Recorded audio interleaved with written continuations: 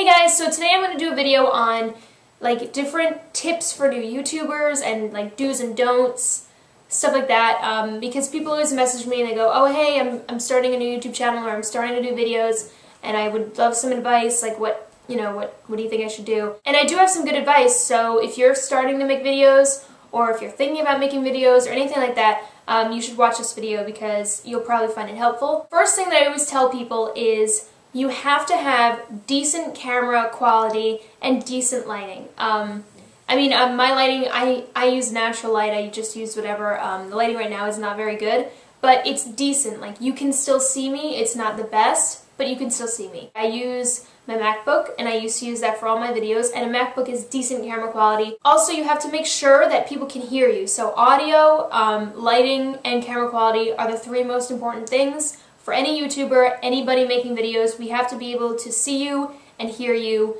you know, as best as we can. You don't have to buy anything expensive. My flip cam that I'm filming on now was like, I think it was like $90, so that's like very inexpensive for a camera. So once you have those things down, then you're set to start making, you know, creating your content, what do you want to put on YouTube, stuff like that, which is all up to you. How to get subscribers, how to get viewers, um, stuff like that. People always want to know how do you get people to watch your videos. For me, I had sort of like, I didn't have a following, I had like a small amount of people, or I had like a couple thousand people who knew who I was because I was in my brother's YouTube videos since 2007. So those people who knew me from there um, subscribed to me on my new channel when I sort of created my own channel. So that's how I started with my channel.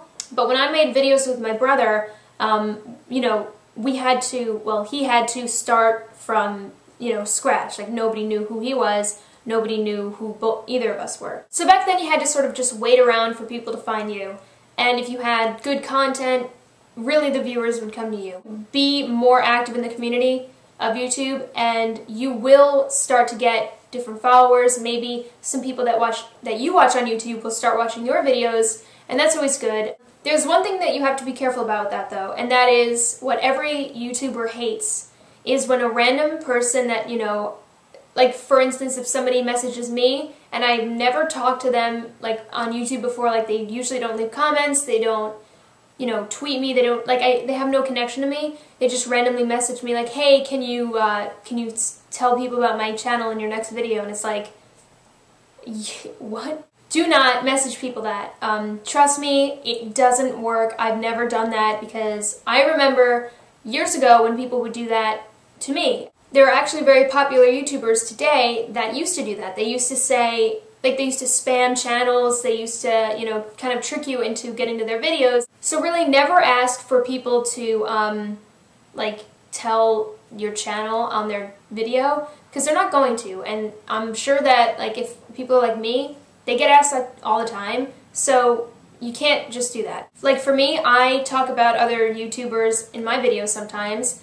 um, if I enjoy their videos and if I've, you know, talked to them before, stuff like that. So don't just out of the blue, like, ask for it or anything like that because that's annoying. If someone enjoys your videos and you have, like, consistent, you know, stuff up and you really have, like, a channel going and you have, like, this good thing going, um, you know, it'll be better for you because people will take you more seriously. I think that's it. I mean, I can't really think of anything right now. Um, but really, I mean, just have decent quality equipment, have, oh, upload consistently, that's another thing. Um, your channel will be much more successful and your audience will be happier if you upload consistently. You want to not let people forget about you, so, you know, try and shoot for once a week. If you're just starting, do once a week.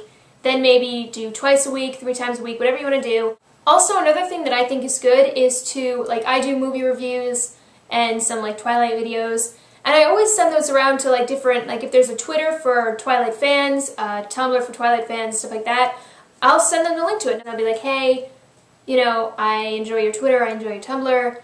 Um, I think that your followers would enjoy my video. Let me know if you want to post it. it that'd be cool. Um, okay, bye. Like, it's not it's just creating um, more, I don't know, I don't really know what to call it. And that's good for everybody. Let's just say that I post a Twilight review to a Twilight fan Twitter. Um, and I say, hey, check this video out. Um, I think your followers would like it.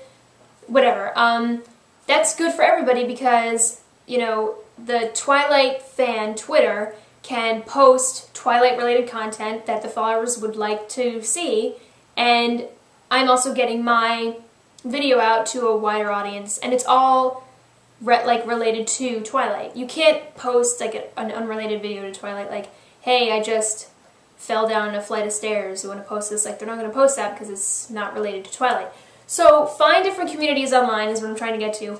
Um, find different fan stuff if you're posting stuff related to something. Do you get what I mean? I'm being so confusing, I know, and I'm talking in circles, but I didn't write any of this down, which is something I should have done. I just remembered one of the most important things that I wanted to talk about is pre-record videos. This is probably the most important thing and the most beneficial thing that a lot of YouTubers do not know about. And not a lot. Actually, most YouTubers do this and most of them know about this, but there are still some that don't know, they haven't heard of this, they haven't considered this. That means that you should film more than one video in one day if you have the time, which some people do. Some people upload two videos in a day, three videos in a day, and it drives me crazy because I just think, like, that is not the way you want to do it. You want to save your videos, upload only one video one day, um, save the other two that you made the same day and upload the next one in two days, upload the third one in two days after that. You want to do this because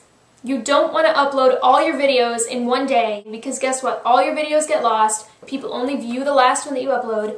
You cheat yourself out of a week's worth of videos that you could be uploading, like saving and uploading. Like, I don't understand. The videos that I did with Louie, we filmed all of them in the same day, at the same time. Like, we just filmed for like a half hour. And I uploaded them, I spaced them out, and I uploaded them, you know, after a few days, after a few days. And that's why I wasn't, you know, rushing around trying to find a video to upload because there was like a huge gap in my videos. You want to have pre-recorded videos so that there aren't huge gaps in between your uploads. You can upload something in between. If you don't feel good that day and you don't feel like filming, you have backup, like you have a backup video to upload.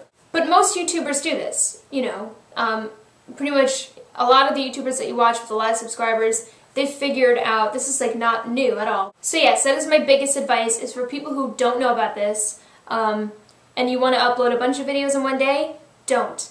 You film a lot in one day, which is always good, but upload only one and then save the others and only upload, you know, the second one like a few days after. Trust me, do not upload more than one video in one day unless it's like, you know, there are exceptions. If there's like an emergency video that you really need to say like, by the way, this is happening today, or there's a sale for this, or I'm on BlogTV, that's fine. I hope this video made sense to you guys. I'm really sorry if this was confusing, but people always ask me, and I thought that I had some good advice. If you have any questions in the comments, I will answer them, and thank you for watching.